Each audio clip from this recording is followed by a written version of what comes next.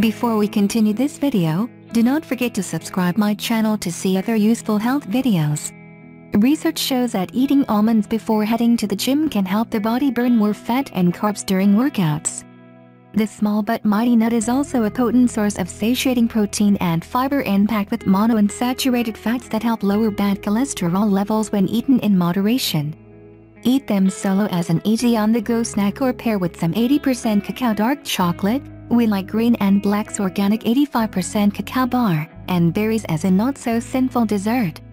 They also make a great addition to yogurt parfaits and overnight oats. Of all the nuts, almonds are the highest in calcium. An ounce of almonds, or about 22 nuts, delivers 8% of the RDI.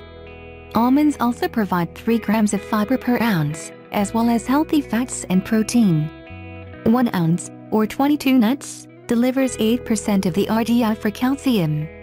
Calcium is the most abundant mineral in the body.